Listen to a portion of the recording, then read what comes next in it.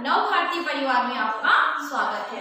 आज का टॉपिक है हमारा सामूहिक परिचर्चा के प्रकार व चरण हमने सामूहिक परिचर्चा के बारे में जाना, उसके अर्थ के बारे में जाना, परिभाषाओं के बारे में जाना और उसकी विशेषताओं के बारे में जाना।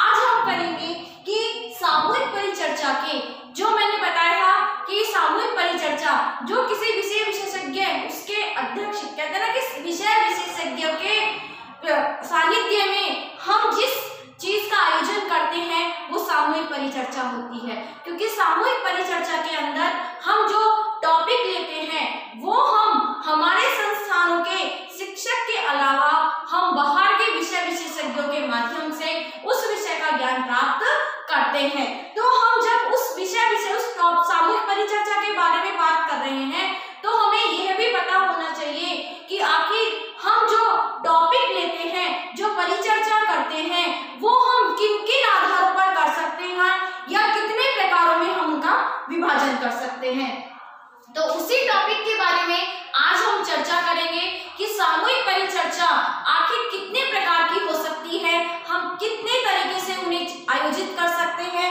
साथ में जो हम उसे क्रियान्वित करते हैं उसके चरण के बारे में हम अध्ययन करेंगे कि उसमें कितने चरण होते हैं किन चरणों के माध्यम से उन कार्यों का कहते हैं कि जब हम कार्यों का नियोजित करते हैं, क्रियान्वित करते हैं तो हम उसके विभिन्न सोपान, विभिन्न चरण पहले निर्धारित करते हैं कि हमें किन किन चरणों के आधार पर हमें कार्य करना है। तो आज हम उन सभी के बारे में अध्ययन करेंगे। सर्वप्रथम हम देखेंगे कि सामूहिक परिचर्चा के कितने प्रकार होते हैं।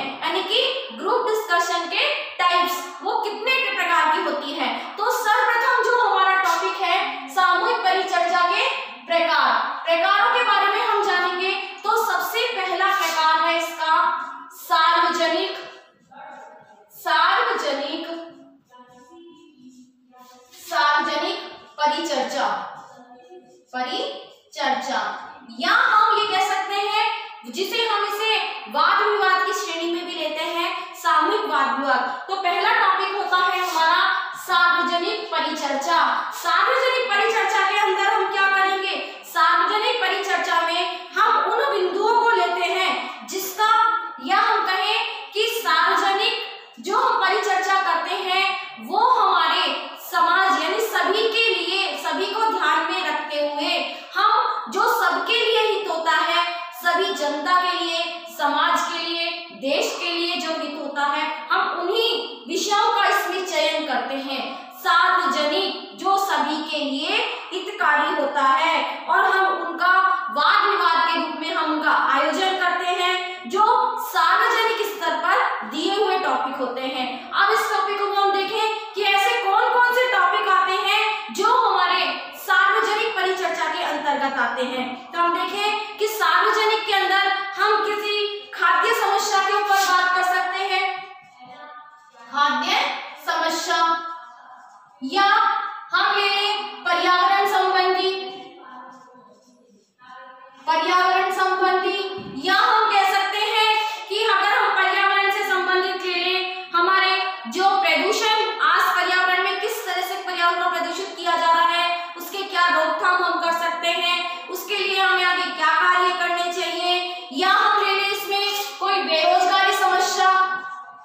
बेरोजगारी, समस्या। यानी कि ये टॉपिक ऐसे होते हैं जो हमारे सार्वजनिक होते हैं, जिसकी आवश्यकता सभी के लिए होते हैं। ऐसे टॉपिकों पर हम इस सामूहिक परिचर्चा का आयोजन करते हैं। इससे क्या होता है कि ये जो समस्याएँ हमारे सामने आती है, इन समस्याओं का हम मिल बांट कर हम इससे किस तरीके से इन समस्याओं से बाहर निकल सकते हैं या ये समस्याओं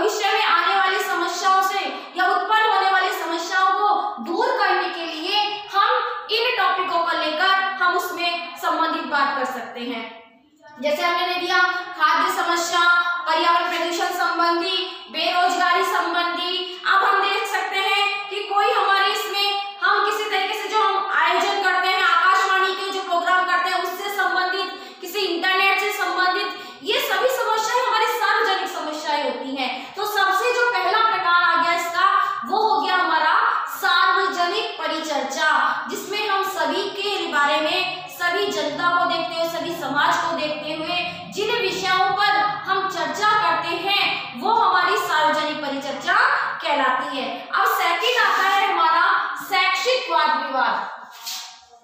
शैक्षिक शैक्षिक परिचर्चा या वाद विवाद। अब हम देखते हैं शैक्षिक परिचर्चा। शैक्षिक परिचर्चा के अंदर आता है हमारा जो पाठ्यक्रम से संबंधित होता है। किससे संबंधित संबंधित। पाठ्यक्रम से संबंधित। पाठ्यक्रम से संबंधित। अब इसमें हम ये देख सकते हैं कि इसके अंदर जो हमारा केंद्र होता है, वो कौन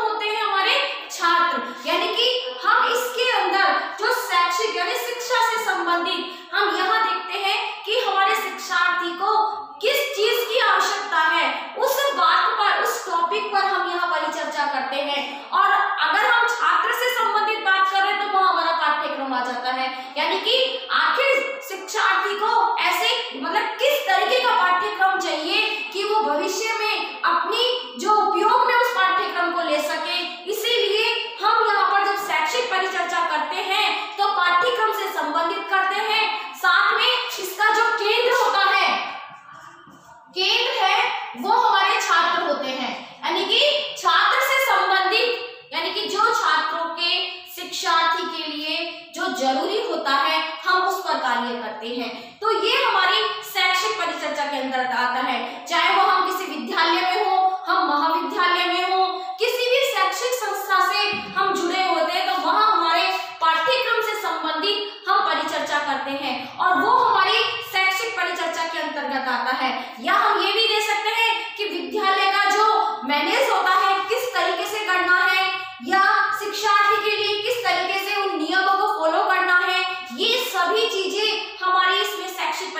के अंदर आते हैं।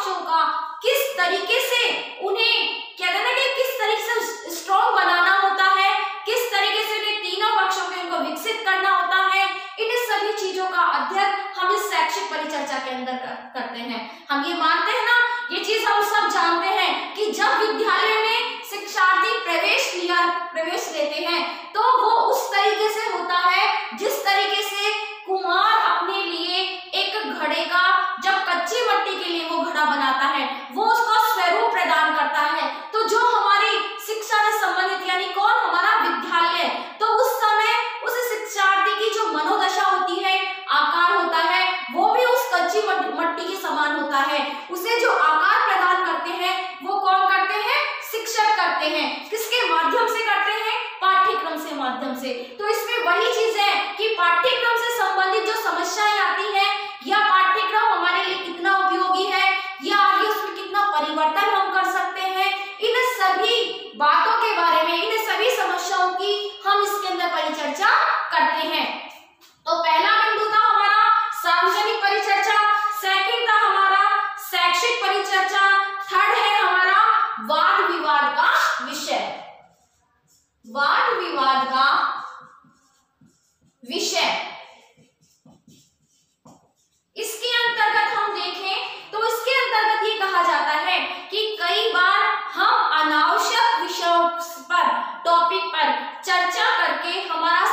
बर्बाद करते हैं।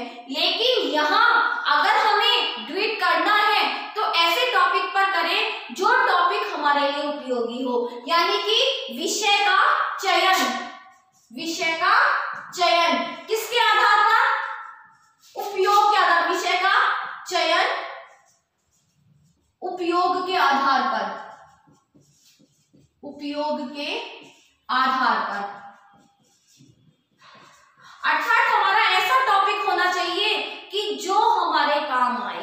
कई बार ऐसा होता है कि अनावश्यक किसी बिंदु पर लेकर, परिचर्चा कर कर बहस की स्थिति उत्पन्न हो जाती है। या हम कहें कि एक तरीके से बहुत वाद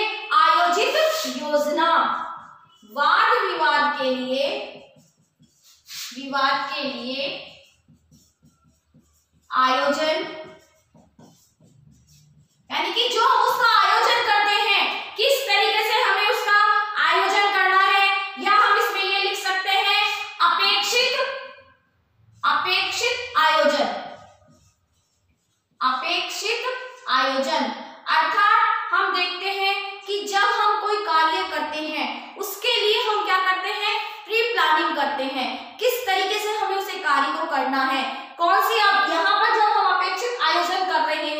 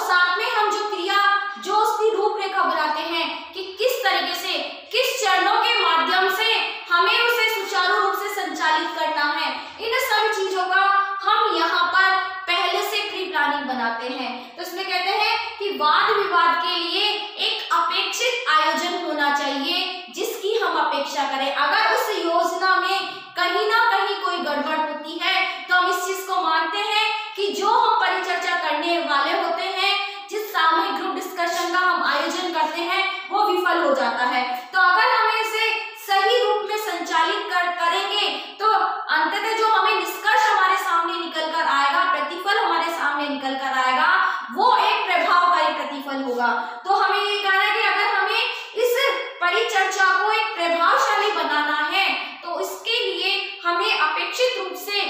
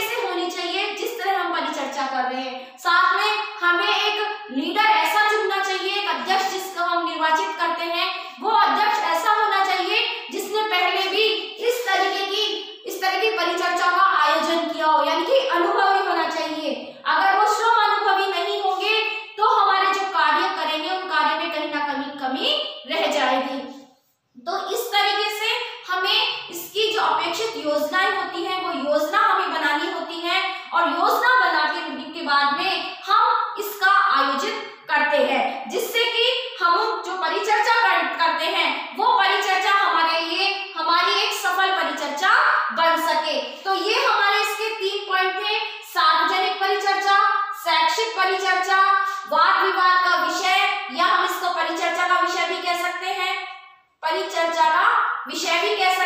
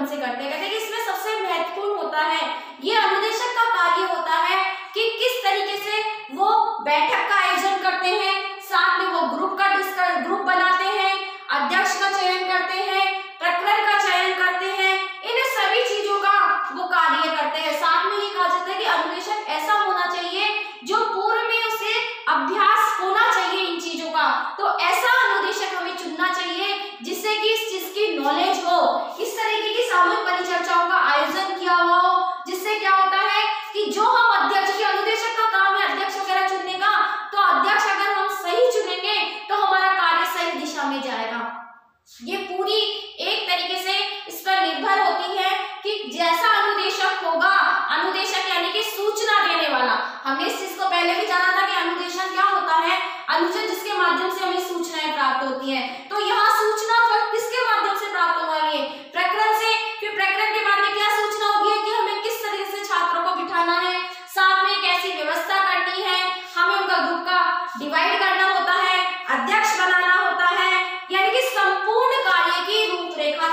करना। संपूर्ण कार्य की, संपूर्ण कार्य की रूपरेखा तैयार करना। रूपरेखा तैयार करना। ये अनुदेशक का कार्य आता है। सेकंड आता है अनुदेशक के बाद में हमारा अध्यक्ष, यानी कि लीडर अध्यक्ष। अनुदेशक के बारे में कहते हैं कि अध्यक्ष की भी एक महत्वपूर्ण छवि होती है, महत्वपूर्ण भूमिका होती है। क्यों होती है कि जो अध्यक्ष होता है, वो वाद विवाद के समय अधिक महत्वपूर्ण होता है, क्योंकि कुछ जो हमारे सदस्यों का वाद विवाद का हम संचालन करते हैं, उसे संचालन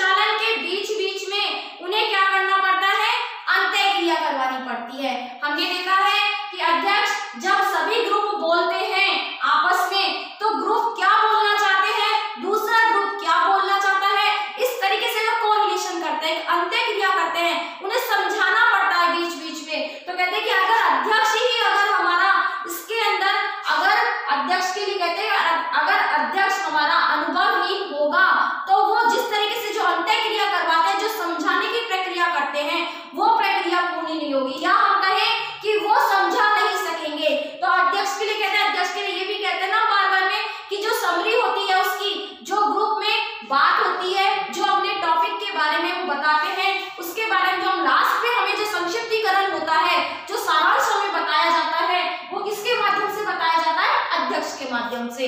अगर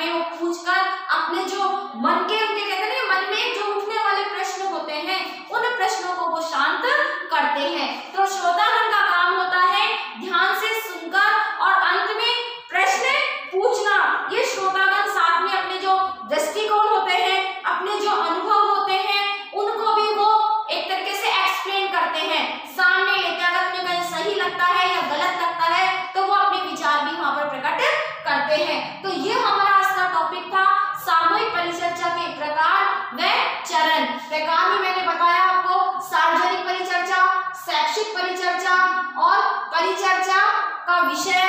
फिर हमने देखा परिचर्चा के लिए अपेक्षित आयोजन। फिर हमने देखा चरण। चरण में हमने देखा अनुदेशक, अध्यक्ष, समूह सदस्य और श्रोतागण। इन सब का आज हमने अच्छी तरह से देखा है कि सामूहिक परिचर्चा के कौन कौन से प्रकार होते हैं और इसको क्रियान्वित करने के कौन कौन से चरण होते हैं। धन्यवाद।